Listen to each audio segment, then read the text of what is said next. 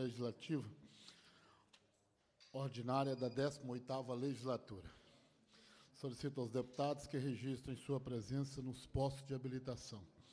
A presidência, nos termos do parágrafo 1 do artigo 132 do Regimento Interno, dispensa a leitura da ata anterior da reunião, considera aprovada e solicita sua subscrição. Esta reunião se destina a apreciar matéria constante na pauta e a receber, discutir e votar a proposição da comissão.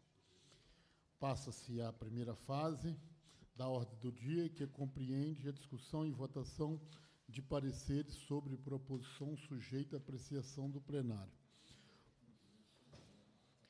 Projeto de Lei 4.267 dispõe sobre a definição das associações de socorro mútuo e da outras providências. Autor Cabo Júlio, o relator Coronel Piscinini.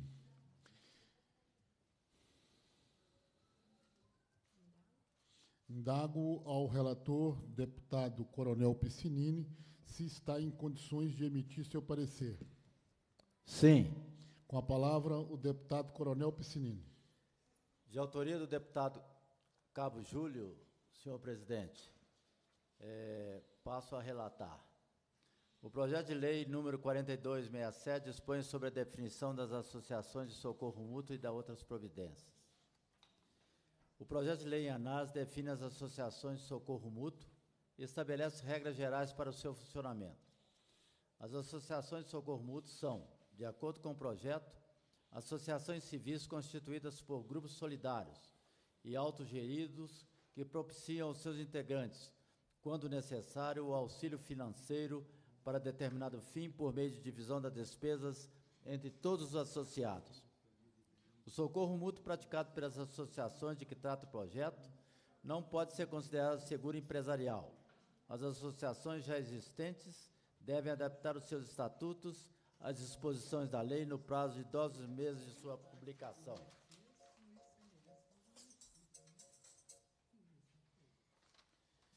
A proposição ainda estabelece que a representação dos associados e associações de socorro mútuo cabe à Força Associativa Nacional.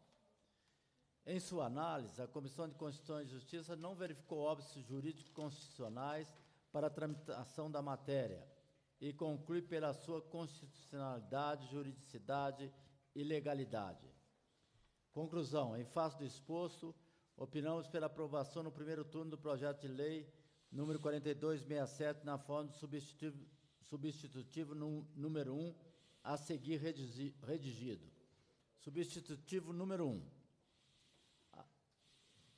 Artigo 1 A Constituição e o funcionamento das associações de socorro mútuo observarão o disposto nessa lei. Parágrafo 1 Para os fins dessa lei, considera socorro mútuo a divisão das despesas ocorridas entre os associados em um sistema de autogestão conforme as regras estabelecidas em estatuto. Parágrafo 2 O socorro mútuo poderá ser um dos objetivos de uma associação civil. Artigo 2 Compete à Assembleia Geral das Associações de Socorro Mútuo. 1. Um, a autogestão Não. de que trata o parágrafo 1 do artigo 1 a ser exercida de forma democrática, coletiva e coordenada. 2. A criação e reformulação do Estatuto da Associação com as regras específicas do socorro mútuo. Parágrafo 1 A criação ou reformulação do Estatuto de que trata o inciso 2 do caput se dará por meio de Assembleia Geral de fundação da associação ou, caso já fundada, por meio de Assembleia Geral a ser convocada especificamente para este fim. Parágrafo 2 O Estatuto a que se refere o inciso 2 do caput deve ser registrado no órgão competente. Parágrafo 3 O Estatuto a que se refere o inciso 2 do caput conterá além dos requisitos impostos pela Lei número 10.416, de 10 de janeiro de 2002, que institui o Código Civil, a indicação do objetivo específico do socorro mútuo, o número de associados e a indicação das regras do socorro mútuo e dos demais benefícios dos associados. Artigo 3 Nas associações de socorro mútuo, os associados contribuirão mensalmente com as cotas necessárias para arcar com os custos fixos da administração e os variáveis relativos ao rateio de despesas ocorridos no mês anterior. Parágrafo único. A associação deverá indicar expressamente no regulamento o valor máximo dos bens indicados pelos associados, bem como o total que poderá ser rateado. Artigo 4. Socorro mútuo praticado pelas associações não poderá ser considerado seguro empresarial. Artigo 5 A associação que tiver como um de seus objetivos socorro mútuo terá o prazo de 12 meses, contados da data da publicação dessa lei, para reformular seu estatuto no que for cabível, adaptando ao disposto nesta lei. Artigo 6 A representação das associações de que se trata esta lei cabe à Força Associativa Nacional, competindo de manter registro das associações de socorro mútuo, no Estado. Artigo 7 essa lei entra em vigor na data de sua publicação. É o que continha. Em discussão, o parecer. Encerra-se a discussão. Em votação, o parecer. Os deputados e as deputadas que eu aprovo permaneça como se encontra. Aprovado o parecer do projeto de lei 4.267. É, projeto de lei 4.050, segunda fase, passa-se a segunda fase, discussão e votação de proposição e dispensa de apreciação do plenário. Projeto de lei 4.053, de 2017, declara de utilidade pública a Associação dos Moradores do bairro Vila Rica, no município de Extrema. autor é o deputado Dalmo Ribeiro. O relator é o deputado André Quintão. Em discussão, o projeto de lei 4.053, em votação. Os deputados que eu aprovo permaneçam como se encontra. Aprovado o projeto de lei 4.053. Projeto de Lei 4.119 declara de utilidade pública a Associação dos Aposentados e Pensionistas de São Gotardo, com sede no município de São Gotardo. Autor é o deputado Bosco, relator é o deputado Celinho. Em votação, o projeto de lei 4.019, 119. Os deputados que eu aprovo permaneçam como se encontra. Aprovado o projeto de lei 4.119. Projeto de lei 4.129 Declaro de utilidade pública a Associação dos Moradores de Ponte do Paz, Mato, com sede no município de Itinga. O autor é o deputado Jean Freire. Em votação, o projeto de lei 4.129. Os deputados que eu aprovo permaneçam como se encontra. Aprovado o projeto de lei. Projeto de lei 4.172 declara de utilidade pública Associação Comunitária Unidos pelo Social, com sede no município de Betim. Autor, deputado Fábio Avelar. Ao relator é a deputada Geisa. Em votação, o projeto de lei 4.172. Os deputados que o aprovam permaneçam como se encontra. Aprovado o projeto de lei 4.172. Projeto de lei 4.205 declara de unidade pública a Casa da Amizade de Carangola, com sede no município de Carangola. Autor, Roberto Andrade, deputado. Celino Citrocel, relator. Em votação, o projeto de lei 4.205. Os deputados que eu aprovo permaneçam como se encontra. Aprovado. Projeto de lei 4.206 declara de utilidade pública Associação dos Moradores e Amigos do bairro Tapir, com sede no município de Itamogi. O autor é o deputado Emidinho Madeiro. O relator é o deputado Celino Centrocel. Parecer pela aprovação com a emenda número 1 da Comissão de Constituição e Justiça.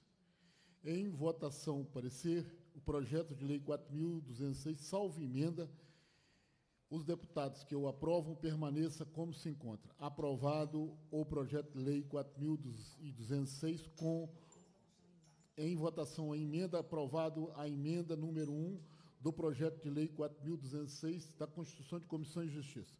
Projeto de lei 4.228 declara de utilidade pública Associação Projeto Social Crescer do sétimo município de Contagem Ione Pinheiro, deputada autora, Geisa Teixeira é a relatora.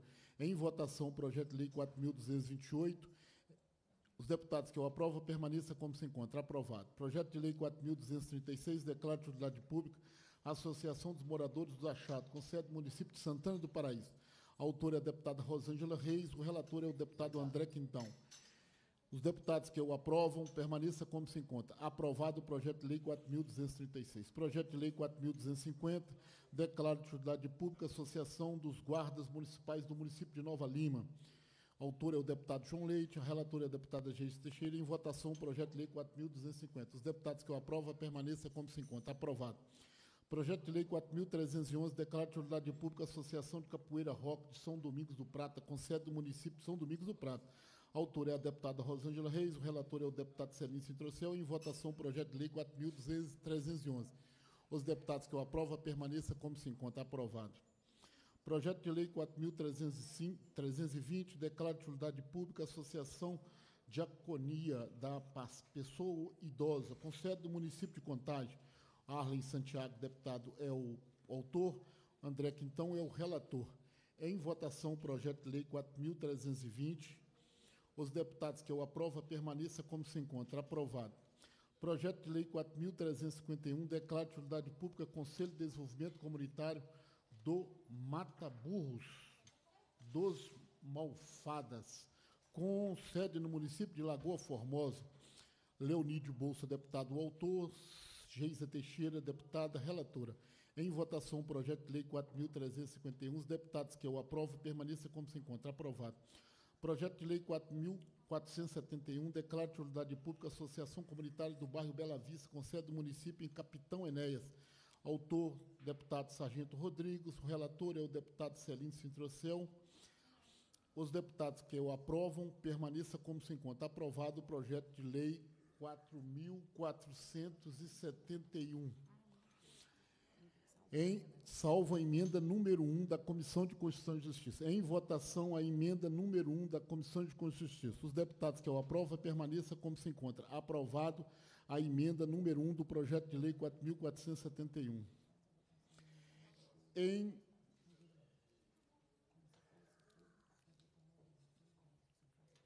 Já fiz, votei cada um. Não, não. Em votação, todos os projetos de lei que declara de utilidade pública todas as entidades aqui já citadas. Os deputados, cada um por sua vez, votando sim, não ou em branco. Favor manifestar. Deputado Celino Sintrocel vota sim em todos os projetos de leis. Deputado Coronel Piscinini vota sim em todos os projetos. Deputado Geraldo Pimenta vota sim em todos os projetos. André Quintão vota sim, presidente. Aprovado todos os projetos de leis. Requerimento 8.557, que requer seja formulado voto de congratulação com Rota do Clube de Belo Horizonte por seus 90 anos de fundação. Dalmo Ribeiro, o autor. Em votação, o projeto de lei, o requerimento 8.557. Os deputados que eu aprovo permaneçam como se encontra. Aprovado. Requerimento 8.639 requer seja formulado voto de congratulação com Lions Clube pelos 100 anos de sua fundação. Deputado Humberto Carneiro, Luiz Humberto Carneiro, autor. Em votação, o requerimento 8.639-2017. Aprovado.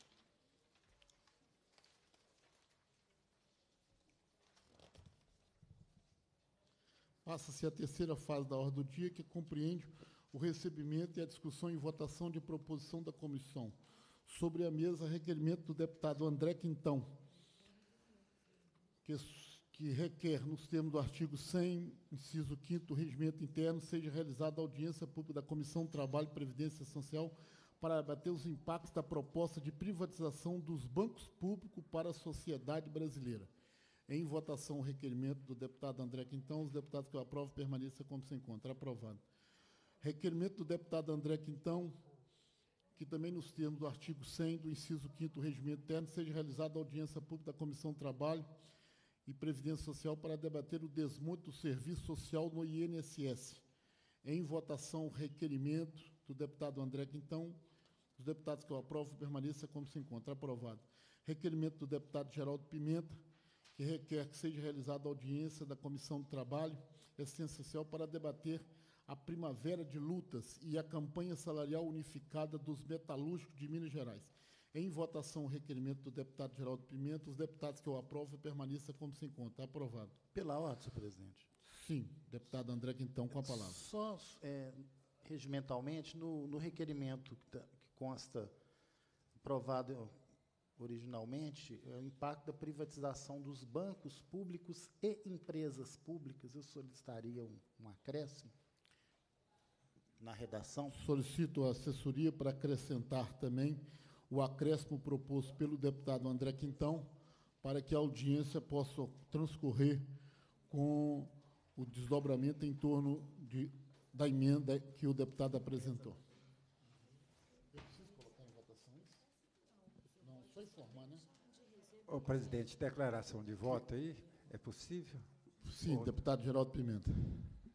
O presidente e colegas deputados, eh, apresentei esse requerimento porque acontece nesse, nessa primavera é, uma série de agendas para o Brasil afora, organizadas pela CTB, pela Central dos Trabalhadores e Trabalhadoras do Brasil, Força Sindical, GT, as várias centrais sindicais, os movimento sindical e social têm feito toda uma luta em defesa do emprego. Várias categorias, é, é, categorias econômicas em luta nesse momento né, contra as demissões no trabalho, por melhoria das condições de trabalho, pelo emprego. É nesse sentido que eu acho que é fundamental a gente estar tá discutindo é, aqui a Assembleia é, é, medidas no sentido de, da retomada do crescimento, da defesa do emprego, sabe? Então, nesse sentido que eu acho que é fundamental a gente fazer uma audiência, é, num momento também que, que a gente vê, é, chegou até um, um, economista francês aqui essa semana, é, o, o Piketty, que tem estudado muito a questão da desigualdade social, e ele coloca que não vai ter retomada de desenvolvimento, de crescimento do Brasil, sem discutir a distribuição de renda nesse país. Sem uma reforma tributária progressiva que taxe os mais ricos. Né? É, então, nesse sentido, que eu acho que é fundamental a gente discutir essas questões e criar condições para a retomada do crescimento aqui em Minas e no Brasil. Obrigado. Obrigado, deputado Geraldo Pimenta. Tem um requerimento à mesa, senhores deputados, do deputado Dalmo Ribeiro, que requer, nos termos do artigo 100 do Regimento Interno, que seja realizada audiência pública da Comissão do Trabalho e Previdência Essencial para debater o corte do Orçamento Federal de 2018 dos recursos para o financiamento do Sistema Único Assistencial SUAS. Deixo de receber, nos termos do artigo 173, inciso 4 do Regimento Interno, por razão de já existir requerimento idêntico 9.847-2017, de autoria do deputado André Quintão. Passo a presidência ao deputado André Quintão para que ele possa fazer a leitura de requerimentos de minha autoria e colocar em votação.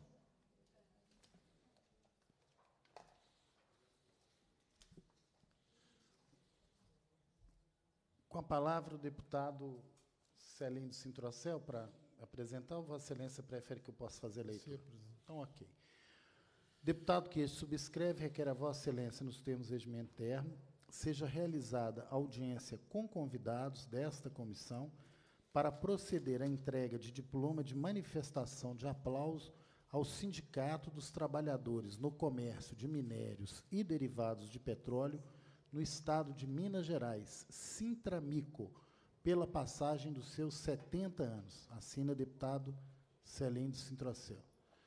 Os deputados que subscrevem requerem a Vossa Excelência, nos termos regimentais, seja encaminhado pedido de providência ao presidente da Assembleia, no sentido de que a Assembleia contribua para a divulgação pública do relatório da Comissão da Verdade de Minas Gerais, por meio da reprodução de mais mil exemplares do capítulo referente aos trabalhadores e ao movimento sindical urbano, além da edição da própria Coveng, assim que o referido relatório for publicado.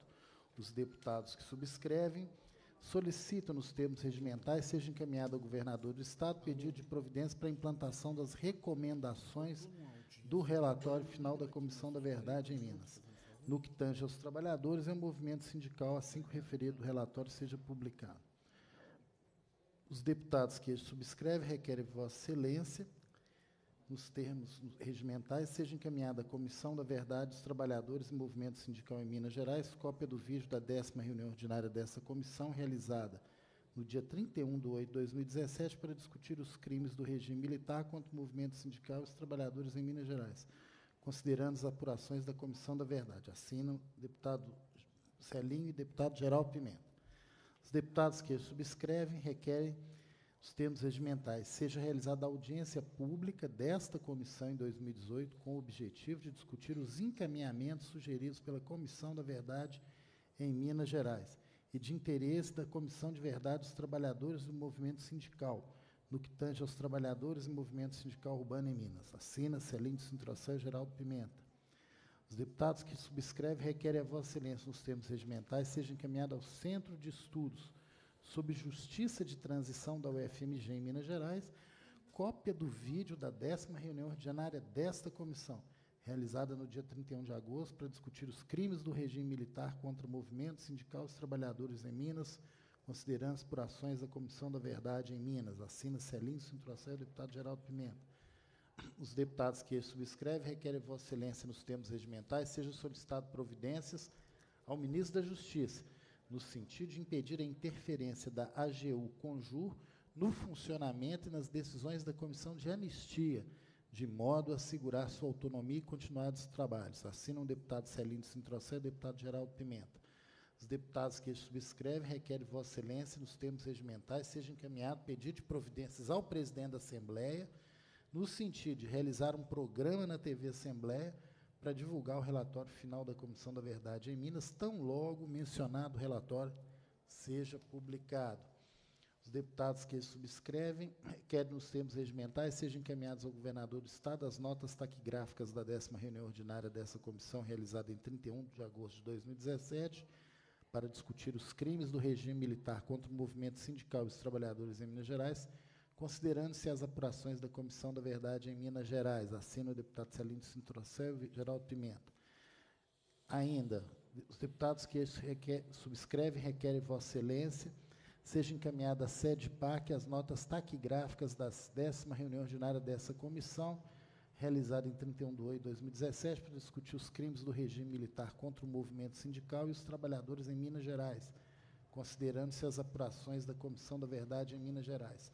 Os deputados que subscrevem requerem Vossa Excelência, nos termos regimentais, seja encaminhada as notas taquigráficas da décima reunião ordinária dessa comissão, realizada em 31 de agosto de 2017, para discutir os crimes do regime militar contra o movimento sindical e os trabalhadores em Minas Gerais considerando-se as apurações da Comissão da Verdade em Minas às entidades representadas na referida reunião, conforme lista anexa. Por fim, os deputados Celino Sintrocé e Geraldo Pimenta requerem a Vossa Excelência, nos termos regimentais, seja encaminhada à Comissão da Verdade dos Trabalhadores e Movimento Sindical em Minas Gerais, COVET-MG, cópia do vídeo da décima reunião ordinária dessa comissão, realizada no dia 31 de agosto de 2017, para discutir os crimes do regime militar contra o movimento sindical e os trabalhadores em Minas Gerais, considerando-se as apurações da Comissão da Verdade em Minas Gerais. São estes os requerimentos. Em votação, cada um por sua vez, em discussão e sessões em votação, senhores deputados que aprovam permaneçam como se encontram aprovado. Retorna à presidência o deputado Celino Sintação. Agradeço ao deputado André Quintão. Retomando os trabalhos. Cumprida a finalidade da reunião, a presidência agradece a presença dos parlamentares, convoca os membros para a próxima reunião ordinária e determina a lavratura da ata de encerra os trabalhos.